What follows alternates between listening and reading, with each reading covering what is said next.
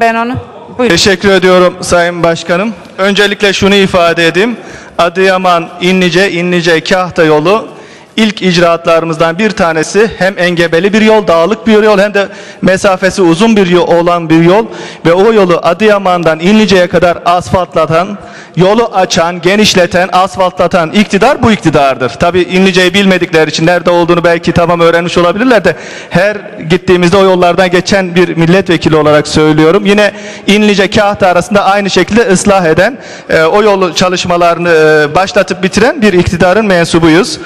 Değerli arkadaşlar bugün aynı zamanda İskilipli Atıf Hoca'nın ölüm yıl dönümü. İskilipli Atıf Hoca 15 Mayıs 1919 İzmir işgalini Beyoğlu'ndaki İngiliz elçiliğinde ilk protesto eden aydın, milli mücadeleyi cani yürekten destekleyen bir vatanperverdi.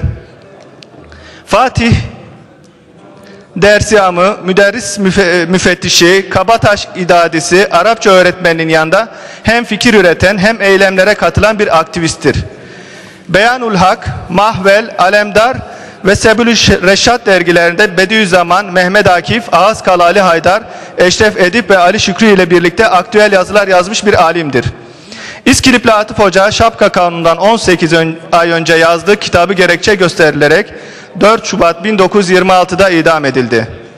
İdam kararı veren mahkeme reisi Ali Çetinkaya ve Kılıç Ali hukukçu değildi. Onlar askerdi ve atanmış milletvekilleriydi.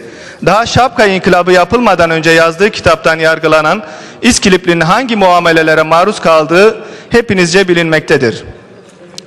Üzerimize düşen görev geçmişteki utanç tablolarıyla yüzleşmek ve haklıya hakkını gıyabında da olsa teslim etmektir.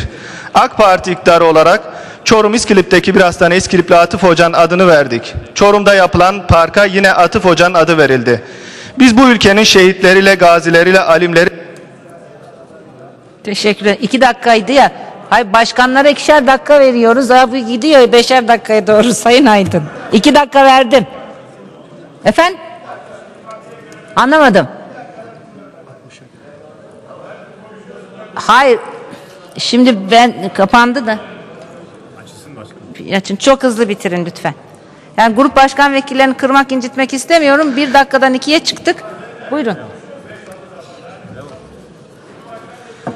Sayın Genç ben e, grup başkan vekilleriyle de ilgili neyse buyurun açar mısınız? Ben başlatmadım öyle olmuş devam ettiriyorum. Doğru haklısınız şu andan itibaren bırakırım hepsini.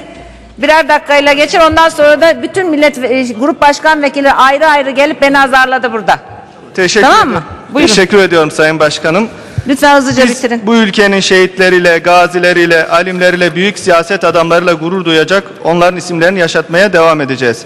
Değerli milletvekilleri, Türkiye böyle kötü tecrübelerden ders çıkartmıştır, çıkartmalıdır da. AK Parti iktidara geldi 2002 yılından bu yana demokratikleşme yolunda önemli adımlar atılmıştır. Olağanüstü halin kaldırılması, DGM'lerin ve özel yetkili mahkemelerin kaldırılıyor olması, Milli Güvenlik Kurulu'nun sivilleşmesi, askeri yargın yetki alanının daraltılması, Emasya protokolünün kaldırılması, Kırmızı Kitap'tan irtica adı altında kendi milletini tehdit olarak algılayan hükmün çıkarılması, darbeye dayanak teşkil eden TSK İç Hizmetler Kanunu 35. maddesinin kaldırılması, 1982 Anayasası Teşekkür ediyorum gündeme geçiyoruz.